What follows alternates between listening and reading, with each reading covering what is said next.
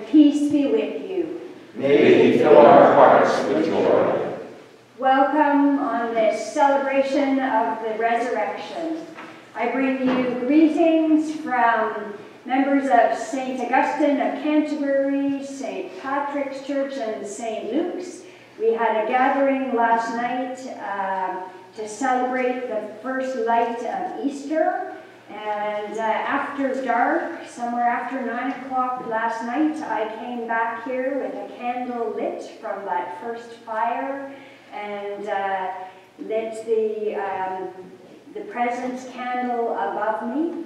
Those of you who were here on Good Friday remember we left and it was all dark and black.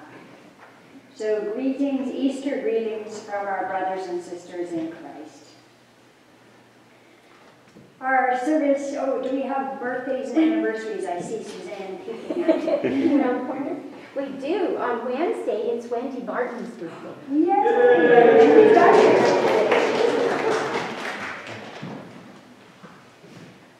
Let us join in the collect for purity.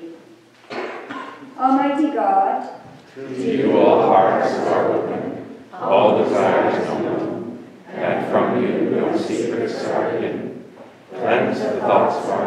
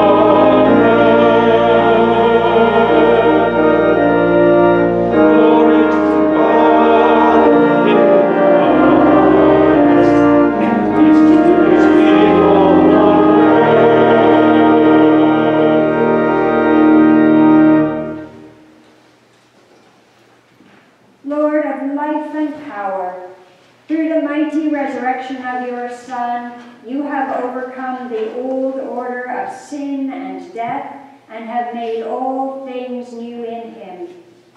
May we, being dead to sin and alive to you in Jesus Christ, reign with him in glory, who with you and the Holy Spirit is alive, one God, now and forever.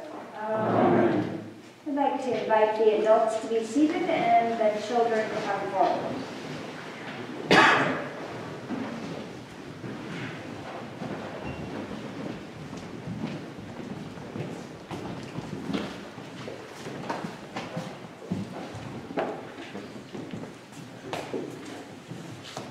So what do you think? There's a beautiful cross here in front of me, full of flowers, and we have this Easter candle, and those help us remember the story of Jesus.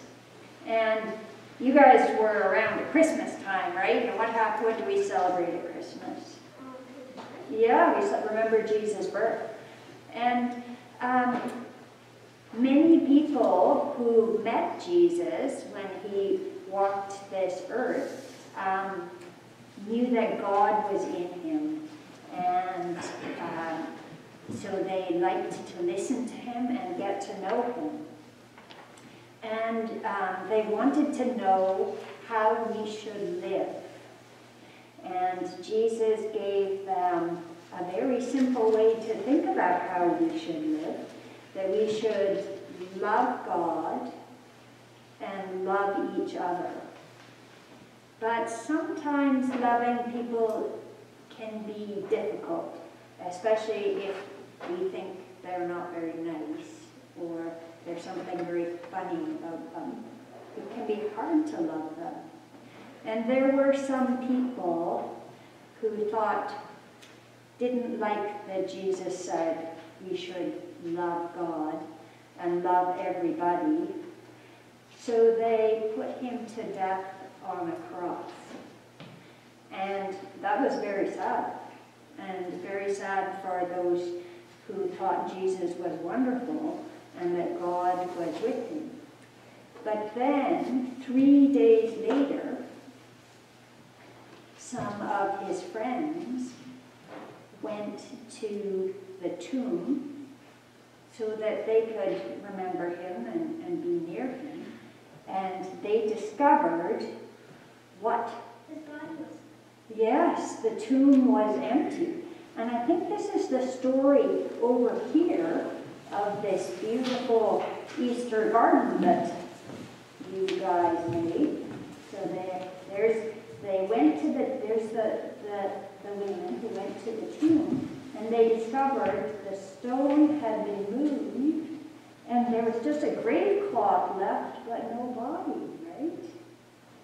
Now here we see that there was the cross that Jesus died on, and there were two criminals who died beside him. And we remember this being in a garden because gardens are beautiful, right? And we're waiting for our gardens to grow outside um, to see flowers and beautiful new life. And some angels came and told the two women and uh, that Jesus was alive. And in the whole season of Easter, the last 50 days, we remember and read the stories about how Jesus was made alive again. And Jesus was made alive again um, in, in a new and different resurrection body. Jesus will never die again, and he is with us, and his presence fills our lives, and we have hope. We can have hope that all the terrible things that we know of this world are not the final answer, but God's love is more powerful than anything else. And so we continue to practice what Jesus taught, which was to love God and love other people. So let's just say a prayer as we look at this Easter garden. Thank you, Jesus, that you are still alive, that you are with us in our hearts, in this congregation, in the bread and wine of communion. And that you speak to us through the Bible stories. Help us to love you with all our heart, soul, mind, and strength, and to love other people as we love ourselves. In your name we pray. Amen. And I know we miss Dorothy. Just Oh, yes, Miss Dorothy is uh, some good stuff planned for you. I won't give away any secrets.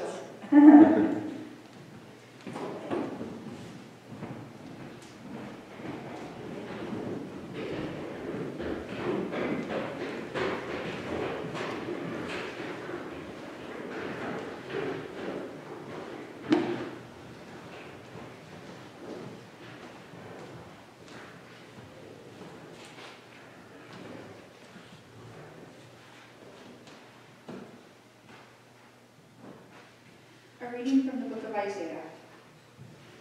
For I am about to create new heavens and a new earth. The former things shall not be remembered or come to mind, but be glad and rejoice forever in what I am creating. For I am about to create Jerusalem as a joy, and its people as a delight. I will rejoice in Jerusalem and delight in my people. No more shall the sound of weeping be heard in it, or the cry of distress. No person who does not live out a lifetime, for one who dies at a hundred years will be considered a youth, and one who falls short of a hundred will be considered accursed. They shall build homes and inhabit them. They shall plant vineyards and eat their fruit. They shall not build and another inhabit. They shall not plant and another eat. For like the days of a tree shall the days of my people be, and my chosen shall long enjoy the work of their hands. They shall not labor in vain, or bear children for calamity, for they shall be offspring blessed by the Lord, and their descendants as well. Before they call, I will answer. While they are yet sleeping, speaking, I will hear. The wolf and the lamb shall feed together, the lion shall eat straw like the ox, but the serpent its food shall be dust. They shall not hurt or destroy on all my holy mountain, says the Lord. The word of the Lord. Thanks be to God.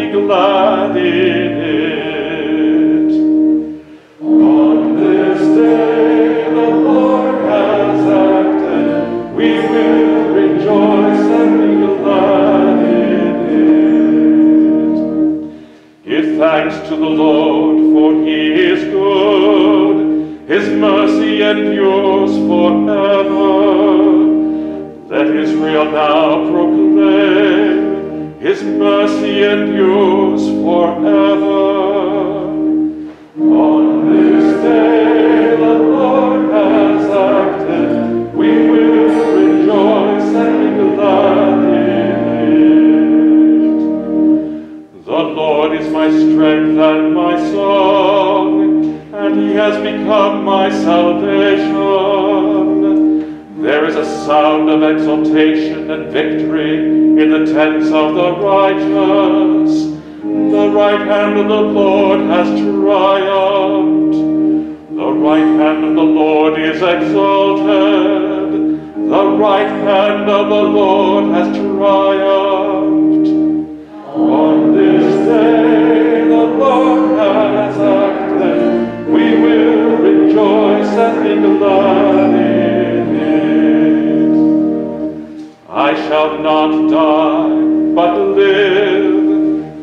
Declare the works of the Lord. The Lord has punished me sorely, but he did not hand me over to death.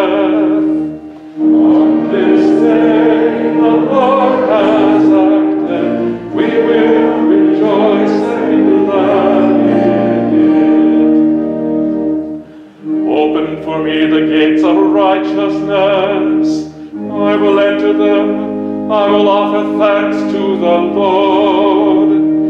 This is the gate of the Lord. He who is righteous may enter. On this day the Lord has acted. We will rejoice and be glad in it. I will give thanks to you, for you answered me and have become my salvation. The same stone which the builders rejected has become the chief cornerstone. On this day the Lord has acted, we will rejoice and be glad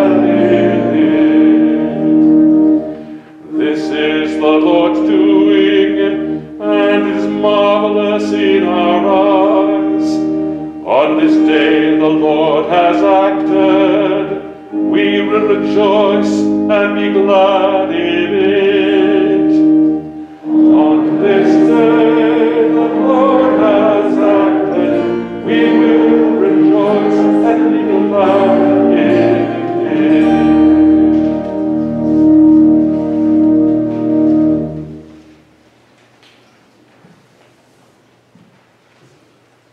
A reading from the book of Acts. Peter began to speak to them. I truly understand that God shows no partiality, but in every nation, anyone who fears him and does what is right is acceptable to him. You know the message he sent to the people of Israel, preaching peace by Jesus Christ, he is Lord of all. That message spread throughout Judea, beginning in Galilee, after the baptism that John announced how God anointed Jesus of Nazareth with the Holy Spirit and. How he went about doing good and healing all who were oppressed by the devil, for God was with him. We are witnesses to all that he did, both in Judea and in Jerusalem. They put him to death by hanging him on a tree, but God raised him on the third day and allowed him to appear, not to all the people, but to us who were chosen by God as witnesses, and who ate and drank with him after he rose from the dead. He commanded us to preach to the people and to testify that he is the one ordained by God as judge of the living and the dead. All the prophets testify about him that everyone who believes in him receives forgiveness of sins through his name. The word of the Lord. Thanks be to God.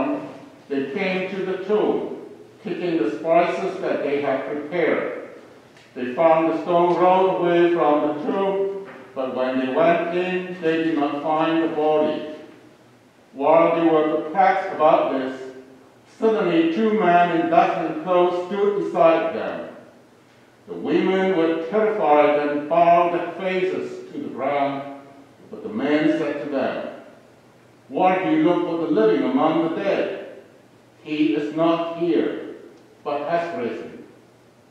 Remember how he told you while he was still in Galilee that the Son of Man must be handed over to the sinners and be crucified, and on the third day rise again. Then they remembered his words, and returning from the tomb, they told all this to the eleven and to all the rest. Not was Mary Magdalene, Joanna, Mary the mother of James, and the other women with them who told this to the apostles. But these words seemed to them an idle tale, and they did not believe them. But Peter got up and ran to the tomb. Stooping and looking in, he saw the linen cloths by themselves. Then he went home amazed at what has happened. The Gospel of Christ. Praise to you, Lord Jesus Christ.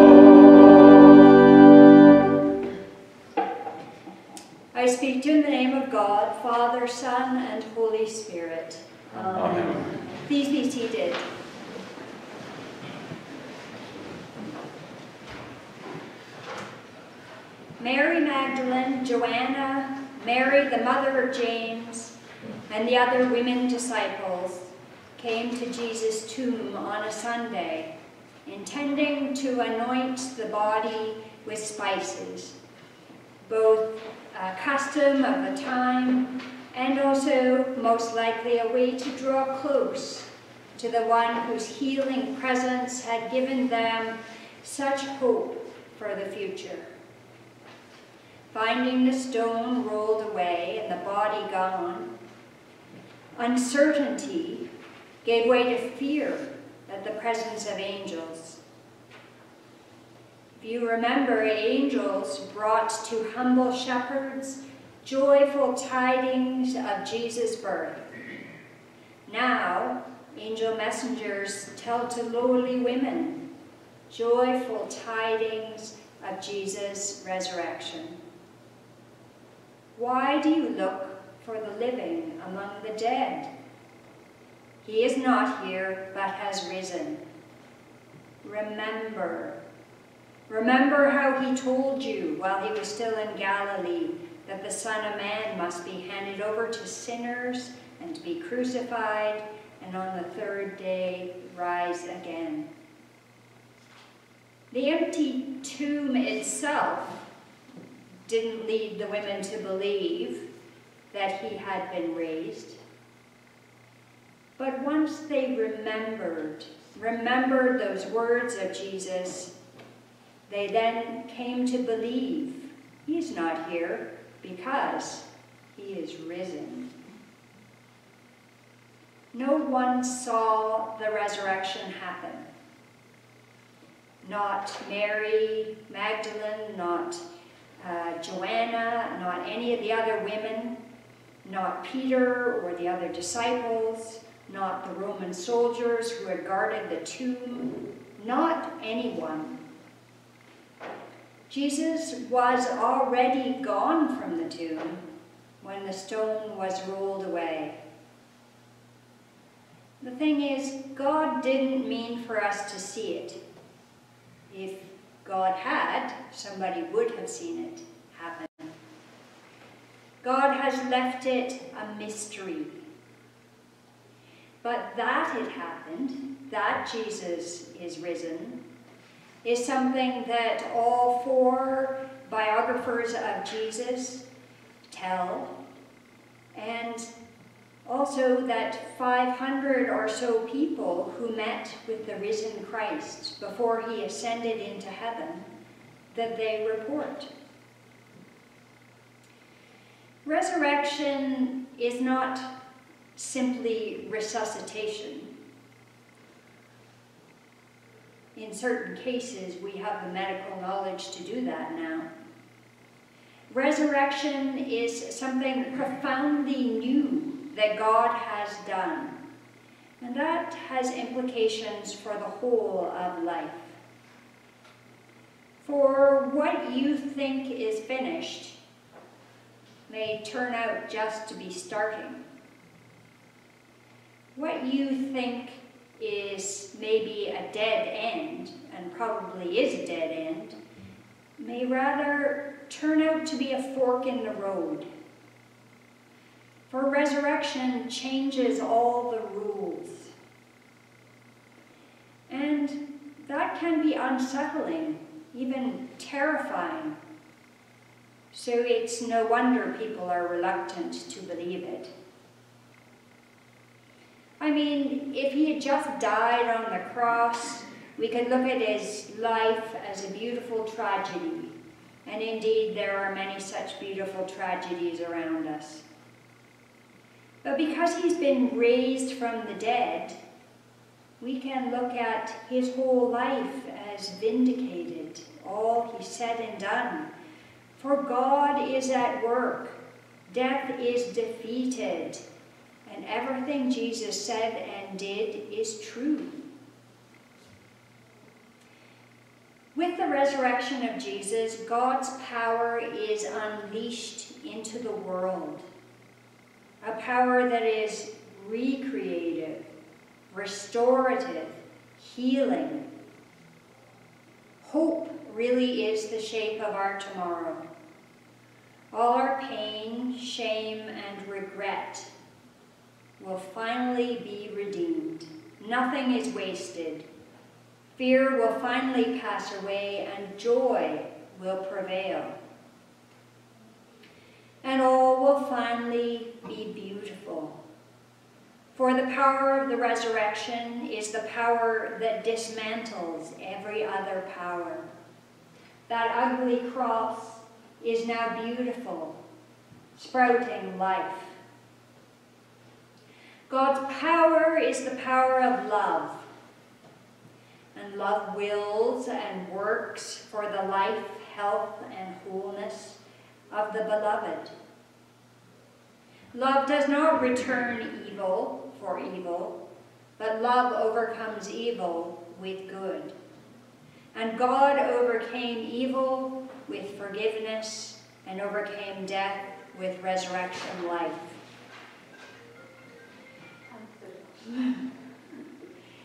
Peter's sermon that we read in Acts spells this out for us.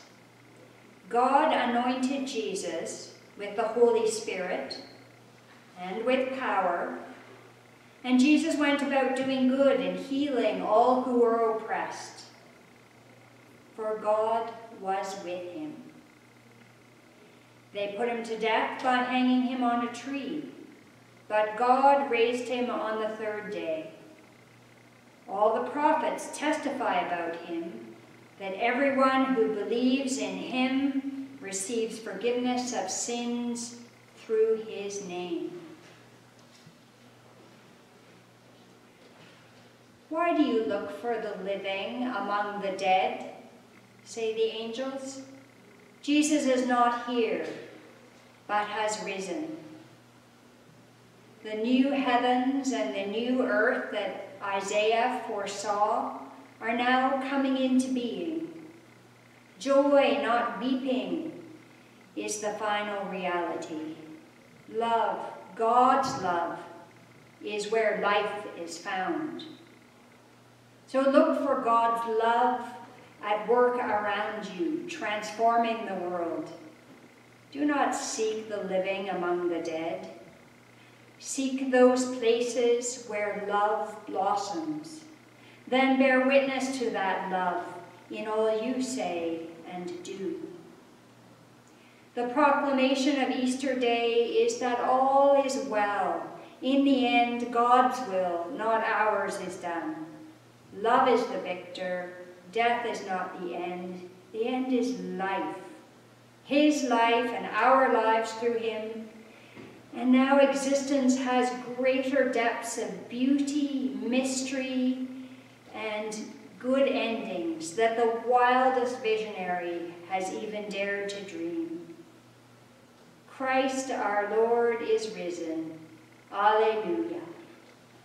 In the name of the Father, and of the Son, and of the Holy Spirit. Amen. Amen.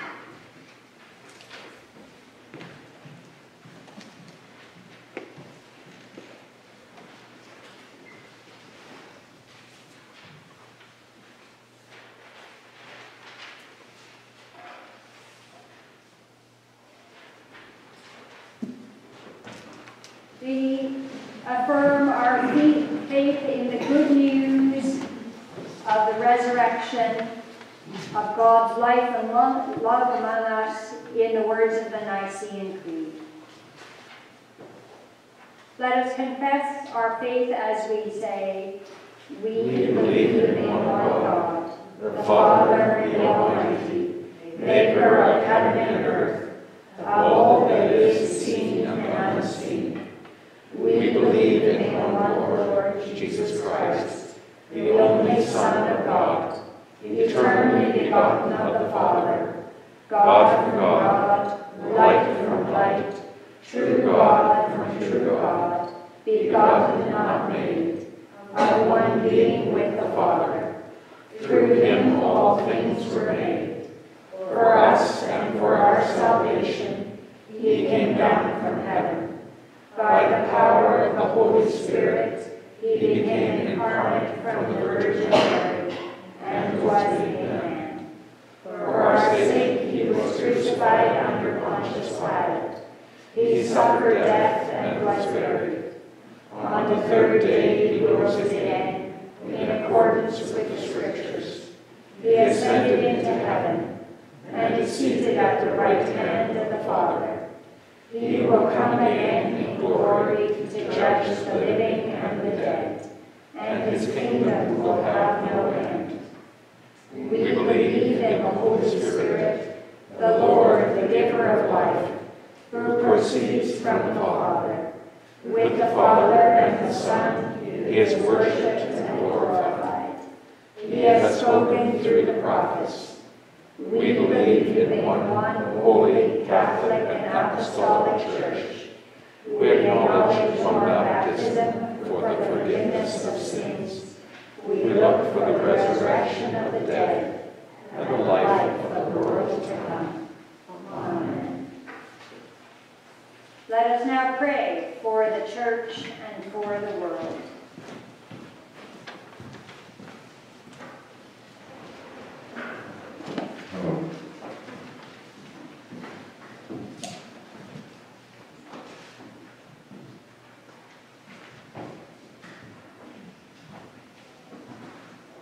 Jesus, our exalted Lord, has been given all authority.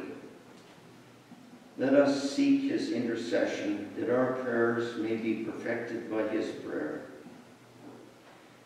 The response to the petition, Lord, hear us, is Lord, graciously hear us. Jesus Christ, great high priest, living forever to intercede for us. Pray for the church, your broken body in the world. We pray for Linda, our primate, Stephen, our bishop, Renee, our priest, and for the clergy and people of the Diocese of Huron, St. Stephen the Martyr, Edmonton, and the Buye Diocese. Lord, hear us. Lord, graciously hear us. Jesus Christ, King of righteousness, enthroned at the right hand of the Majesty on high, pray for the world and make it subject to your gentle rule. We pray for the Cold Lake First Nations, that a spirit of justice and reconciliation may prevail. Lord, hear us. Lord, graciously hear us. Jesus Christ, Son of Man, drawing humanity into the life of God, pray for your sisters and brothers in need, distress, or sorrow, remembering Yaw Asante and Jocelyn Keith Asante, and especially remembering our brothers and sisters of the people of Ukraine. Lord, hear us. Lord, graciously hear us. Jesus, pioneer of our salvation, bringing us to glory through your death and resurrection, surround with your saints and angels all those who have died, trusting in your promises, and give comfort and peace to those who mourn. Lord, hear us. Lord, graciously hear us. Jesus Christ, Lord over all things, ascending far above the heavens and filling the universe, pray for us who receive the gifts you give for work in your service. Lord, hear us. Lord, graciously hear us. Jesus Christ, keep the, keep the church in the unity of the Spirit and in the bond of peace, and bring the whole created order to worship at your feet. For you are alive and reign with the Father and the Holy Spirit, one God, now and forever. Amen.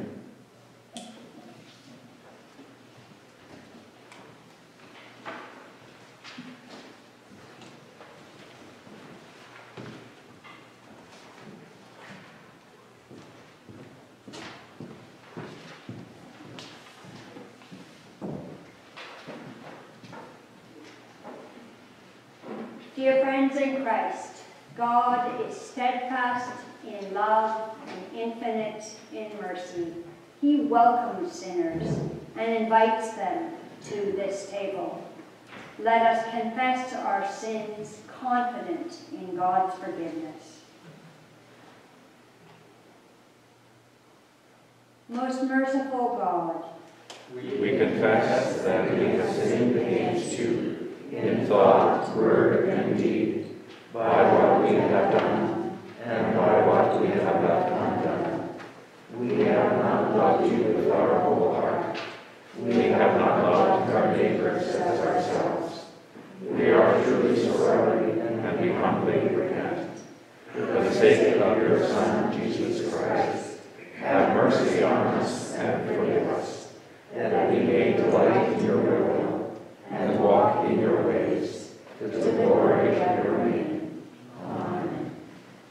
Amen. Almighty God, have mercy upon you, pardon and deliver you from all your sins, confirm and strengthen you in all goodness, and keep you in eternal life through Jesus Christ our Lord. Amen. My sisters and brothers, the peace of the Lord be always with you. And also with you. Will you please share a sign of God's peace with one another?